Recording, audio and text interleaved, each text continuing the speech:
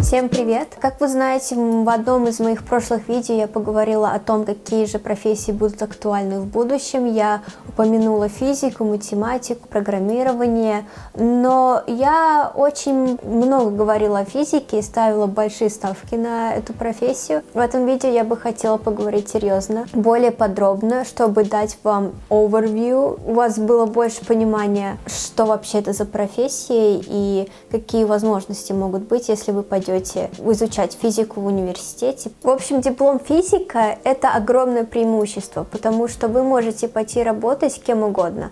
От IT, финансы, научный деятель. Также после окончания университета у вас будет огромное количество навыков, которые можно применить вообще где угодно, и, наверное, ключевое слово этой специальности это high employability, повышенное трудоустройство переводится на русский, наверное. Диплом физика дает вам очень много преимуществ. Куда же пойти работать? Давайте сейчас разберемся сразу, куда можно пойти работать после окончания университета по физике. Как я уже говорила, это огромный миф, что если вы идете на физику или математику, потом вы После этого вам только дорога э, в ученые, которые получают небольшую зарплату в России, и все. Нет, давайте же развеем этот миф сейчас. Можно пойти куда угодно, например, аэрокосмическая и оборонная промышленность, то, что сейчас очень актуально. Мы должны изучать другие миры, другие планеты, образование и я могу здесь отдельно поговорить, потому что э, в, в Англии, особенно в Америке, в Англии, в таких странах, не хватает учителей по физике, потому что даже на моем примере э, у меня в школе в американской физику вела учитель биологии, потому что ну, не хватает. И когда к нам приходил э, учитель физики в университет и рассказывал о своем карьерном росте, он говорил, что если вы э, закончите физику и потом получите сертификат о том, что вы можете преподавать, у вас просто вы будете на расхват, потому что квалифицированные учителя для физики сейчас востребованы по всему миру. Также это энергия и ядерная промышленность, э, электричество, и вы знаете, что сейчас многие переходят на э, электрическую энергию, на солнечную энергию. Тут тоже есть свои косяки, тоже тут есть свои проблемы, которые нужно очень быстро решать, Поэтому миру нужны квалифицированные физики, которые в этом разбираются. Инженерия, инженерия, это понятное дело. Э, там есть разные подвиды, даже есть квантовая инженерия, есть строители, нефтяная промышленность наука, но это классическое пойти в аспирантуру, стать ученым и получить Нобелевскую премию. Финансы и математические модели это, наверное, самое-самое распространенное, актуальное. Очень много выпускников физики идут в финансы. Э, ну, во-первых, потому что там очень много платят. Во-вторых, у вас есть набор навыков, который необходим для этого.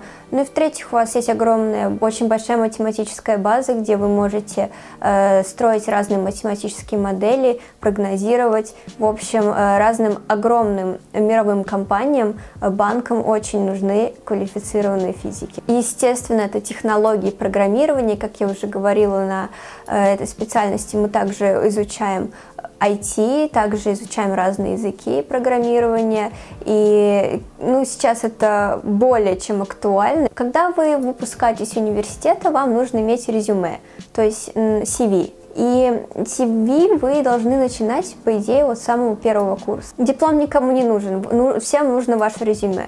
И в этом резюме вы должны включать те навыки, которые вы получили. Специальность физика — это, наверное, самая богатая профессия, э, богатая навыками, приобретенными в течение изучения этого курса в университете. Поэтому сейчас я озвучу, во-первых, это problem solving, э, то есть вы умеете решать проблемы. Во-вторых, это reasoning, то есть у вас очень хорошо работает логика, вы все структурированно думаете. В-третьих, это numeracy, то есть у вас есть skills, навыки в математике, и это просто самые самое ценное, что можно получить в этой профессии. Математика нужна везде и повсюду, и всем. Также словесные задачи вы можете делать математическую модель, что очень важно. Немногие могут этим похвастаться, но именно физики и математики умеют это делать, и это очень ценно. Practical skills То есть вы умеете все делать на практике, планировать, обращать внимание на мелкие детали, что очень важно. Также это communication, вы можете общаться с людьми, общаться так, что вас будут понимать все, уметь выражать свои мысли правильно, IT, программирование, еще один очень-очень важный навык — research skills. Вы, самое главное, что вы можете искать информацию, можете обрабатывать информацию, отделять э, недостоверную от достоверной информации, что очень тоже важно. Физика, она собирает все навыки в себе, и поэтому ваше CV будет самое сильное, и у вас будут огромные шансы получить работу, которую вы хотите. Но также, как я уже говорила, вы можете пойти в науку, в аспирантуру, получить PhD, стать доктором наук. Это тоже сейчас важно, потому что, ну, как вы знаете, наука сейчас очень-очень быстро развивается, и мы не знаем 90% вообще всего мира. Я сейчас озвучу различные э, варианты, куда вы можете пойти в аспирантуру. Например, это астрофизик, астроном, космолог, изучать Вселенную, звезды, космос квантовая физика. Квантовая физика, наверное, самая актуальная сейчас, куда можно пойти, потому что это квантовые компьютеры, и квантовая физика это новое, новый раздел физики, который никому еще не понятен, что там вообще происходит. И это очень-очень интересно, когда вы начинаете вникать в это все, так что я вам очень советую задуматься об этом. Физика частиц, математическая физика, термодинамика тоже полезно, и нанотехнологии сейчас. Это тоже актуально. Скажу самое-самое крутое, почему же вам стоит пойти в физику, то, что все будут считать, что вы умные. Потому что всегда, когда я, когда меня спрашивают, о, ты учишься в универе, кем ты, ну, на кого ты учишься, в каком факультете, я говорю, астрофизик, и реакция в основном, наверное, в 90% реакция, которую я получаю, это вау, это, наверное, очень тяжело, ты, наверное, умная, да, очень прикольно, очень круто, наверное, интересно.